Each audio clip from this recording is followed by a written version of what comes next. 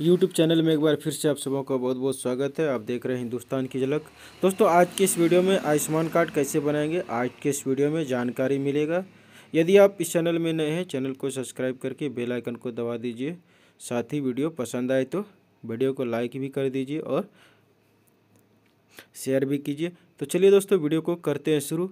सबसे पहले दोस्तों, आपको डिजिटल सेवा पोर्टल में लॉगिन हो जाना है। यहाँ पर दोस्तों, मैं लॉगिन हो गया। उसके बाद दोस्तों, आपको सर्विस के ऑप्शन पे क्लिक कर देना है। क्लिक करते ही यहाँ बहुत सारा सर्विस खुल करके आ जाएगा। यहाँ पर आपको सर्च के ऑप्शन में आयुष्मान लिख टाइप कर देना है। टाइप करते ही देखिए दोस्तों यहाँ पर आयुष्मान भारत स्कीम आ जाएगा। उस पर क्लिक हियर का ऑप्शन दिखेगा। उस पर आपको क्लिक कर देना है। क्लिक करते ही दोस्तों एक नया पेज खुल करके आ जाएगा। देखिए इस प्रकार से एक नया पेज खुल करके आ जाएगा। यदि आप न्यू सी वैली हैं, पहली बार लॉगिन कर रहे हैं तो दोस्तों आपको यस और नो का ऑप्शन आएगा।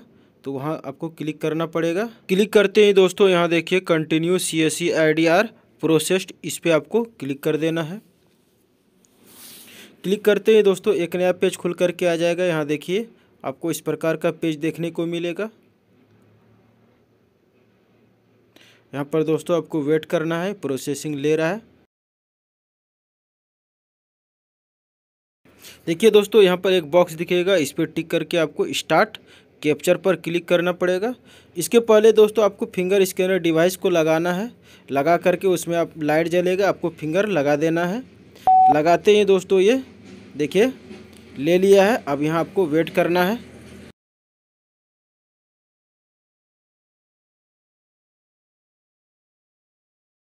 देखिए दोस्तों यहाँ पर प्लीज़ डू नॉट रिफ्रेश तो आपको पेज रिफ्रेश नहीं करना है।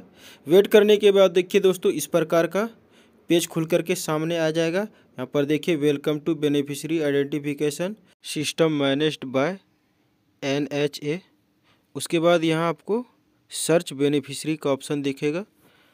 इस पर आपको क्लिक करना पड़ेगा। तो चलिए इस पर क्लिक कर लेते हैं। क्लिक करते ही देखिए दोस्तों, यहाँ इस प्रकार का एक नया पेज खुल करके आ जाएगा यहाँ पर आपको। पहला है दोस्तों स्कीम उसके बाद है सेलेक्ट स्टेट उसके बाद सर्च है पैरामीटर उसमें आपको राशन कार्ड सेलेक्ट कर लेना है। उसके नीचे दोस्तों आपको राशन कार्ड मांगा जा रहा है। आप जिस भी स्टेट से हैं, उसी स्टेट का यहाँ राशन कार्ड नंबर डालना पड़ेगा। उसके बाद सर्च के ऑप्शन पे क्लिक करना पड़ेगा। तो चलिए मैं यहाँ डाल लेता हूँ। दोस्तों राशन कार्ड नंबर फिल करने के बाद सर्च के ऑप्शन पे क्लिक कर देना है। यहाँ पर दोस्तों राशन कार्ड नंबर गलत बता रहा है तो चलिए इसको सही कर लेते हैं। उसके बाद फिर से सर्च के ऑप्शन पे क्लिक करेंगे।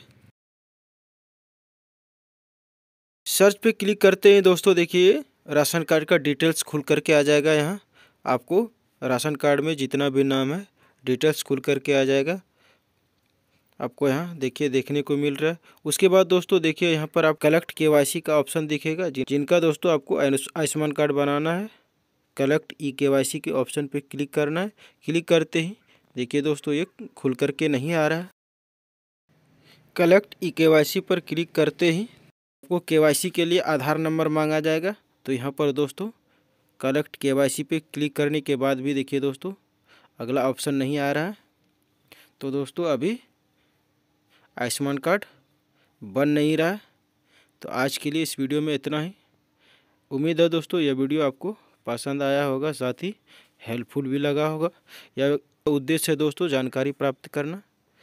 इसी तरह से दोस्तों, आपको सीएससी से रिलेटेड नए नए वीडियो हेल्पफुल वीडियो मिलते रहेंगे।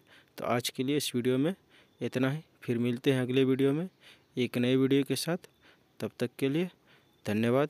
जय हिंद, जय भारत।